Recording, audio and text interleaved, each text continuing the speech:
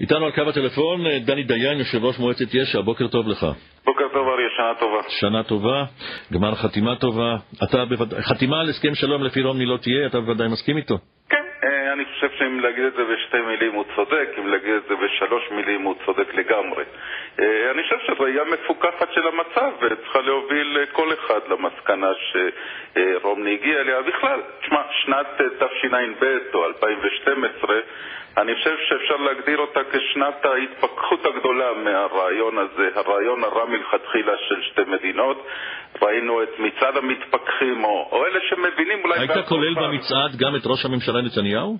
אני כולל למשל את יוסי שריד שכתב את הדברים בהארץ, את נחום ברנע שכתב אותם בידיעות אחרונות, את עופר שלח שכתב אותם במעריב, כמעט שום כלי תקשורת אה, לא קופח, ואחרון אחרון חביב גדעון לוי, שגם הוא אמר אה, אה, בריאיון אחרי פרשת מגרון שזה ניצחון קטן, אבל את הקרב על שתי מדינות הם הפסידו, ולכן אה, כל מי שעיניו בראשו מבין שפתרון שתי המדינות אה, הוא דבר ששייך לעבר.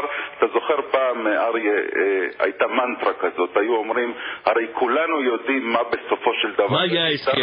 השאלה רק מתי נגיע כן. ואני חושב שבשנתיים האחרונות הפסקנו לשמוע את המנטרה הזאת, ובצדק, כי כולנו מבינים כבר שזה לא היה לכתחילה הפתרון, ולא יהיה גם הפתרון. ואנחנו, אתה רוצה לחיות במדינה דו-לאומית? לא, אני חושב שיש איזו אה, אמירה, אני לא כמובן מאשים אותך בזה חלילה, אבל יש איזה סוג של אה, תרגיל אה, מניפולציה לשונית שאומרת שאם לא שתי מדינות אז זה מדינה אחת דו-לאומית. זה כאילו שתגיד שאם יש זוג שלא מצליח להתגרש בשלום, אז הפתרון הוא שהם יתחתנו מחדש. לא, זה בכלל לא. כן? ההפך משתי מדינות. איזה לא פתרון אתה רואה? איזה הסדר אתה רואה? רומני אמר את הדברים האולי לא נעימים, אבל הנכונים. אין כרגע אה, אה, שום פורמולה, אין כרגע שום נוסחה לפתרון קבע של הסכסוך במזרח התיכון. הוא קרא לזה צריך לגלגל את הכדור קדימה, אני הייתי אה, מגדיר את זה קצת אחרת. אנחנו נמצאים ב-45 שנים במצב מסוים, שהוא יהיה איתנו לעוד זמן.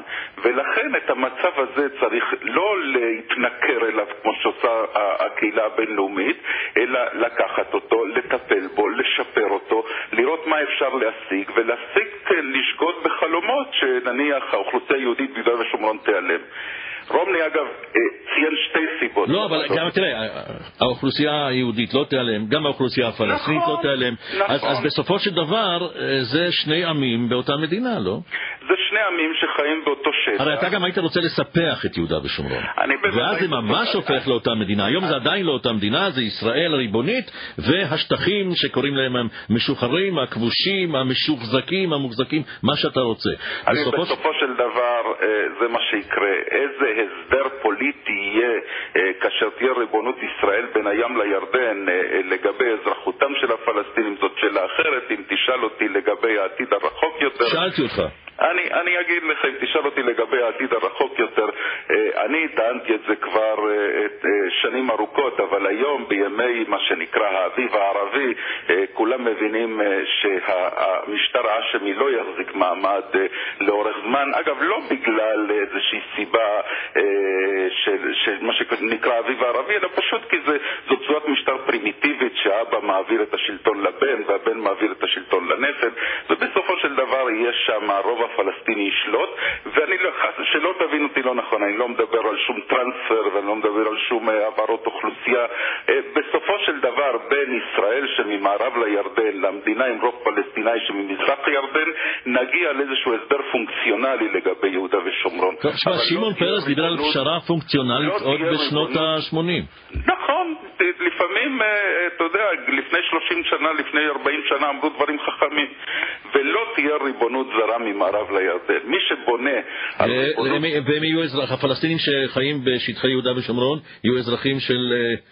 פלסטין הירדנית. שיהיו לה גם uh, תפקידים, שיהיו לה גם uh, אחריויות לגבי החיים של האוכלוסייה הזאת. זה לא סתם uh, להצביע למדינה זרה, אלא זאת תהיה מדינת הלאום הפלסטינית, שיהיה לה גם אחריות לגבי התושבים הפלסטינים שגרים ממערב לירדן, אחריות כזו, אחריות אחרת. כאשר נבין, אריה, זאת אולי הנקודה המרכזית, כאשר נבין שפתרון שתי המדינות איננו ישים מהסיבות שרומני ציין, הביטחוניות, וגם בגלל שיש היום כבר 400 אלף יהודים... הוא גם דיבר על זה שהפלסטינים רוצים להשמיד בעצם את ישראל. נכון, בדיוק ככה, וגם פתרון, שתי, פתרון מה שנקרא המדינה אחת אה, אה, לכל אזרחיה איננו פתרון ישים. כאשר סוף סוף נבין את שתי העובדות האלה, אז אתה יודע מה יקרה, אריה? אז סוף סוף יתחיל תהליך השלום. כי נתחיל לדבר תכלס על דברים אפשריים. אנחנו 20 שנה חגגנו במרכאות על אוסלו, בזבזנו את 20 השנה האלה על פתרון בלתי אפשרי. אני מקווה שלא נבזבז את 20 השנים הקרובות על פתרון בלתי אפשרי אחר. אבל אתה יודע שצריכים שניים גם לטנגו הזה, זאת אמירה שחוקה, אבל אם הפלסטינים לא יסכימו לפתרון שלך, ויחזרו לדרך הטרור והאינתיפאדות וההתאבדויות, והחיים פה יחזרו להיות גיהנום כמו שהיה בשנות האלפיים הראשונות. אה, זה תלוי בנו, תלוי בנחישות שלנו. אה, אה, אילו ראש הממשלה אריאל שרון לא היה דוחה במשך שנה את מבצע חומת מגן, מה שאתה קורא הסיוט הזה היה נגמר הרבה קודם. זה תלוי בנחישות שלנו. בכלל צריך להבין, אם הם לא יעשו... כל המצב הזה, הרי מאשימים אותנו במצבם של הפלסטינאים. אין עיוות יותר גדול מזה. מצבם של הפלסטינאים הוא תוצאה של הבחירות הפוליטיות שהם עשו במשך מאה שנה ושל הבחירות הבלתי מוסריות שהם עשו במשך מאה שנה. אם הם יחליטו גם לא להסכים לפתרון כזה של מדינה פלסטינאית, אה, אה, אה, כפי שתיארתי אותה קודם, ממזרח לירדן, עם סמכויות פונקציונליות כאלה או אחרות על האוכלוסייה, יוכלו לבוא שוב בטענות רק אל עצמם. Okay. אוקיי. אני that... מודה שאני מאלה שחושבים שהציונות היא תנועה צודקת, ציונ... הציונות היא תנועה שהציעה את... אה, אה, אה, הלכה לקראת פשרות שנדחו, ולכן אנחנו נמצאים בדין ובצדק היכן שאנחנו נמצאים. דני דיין, יושב ראש מועצת יש"ע, אני מודה לך, בוקר טוב. תודה, אריה.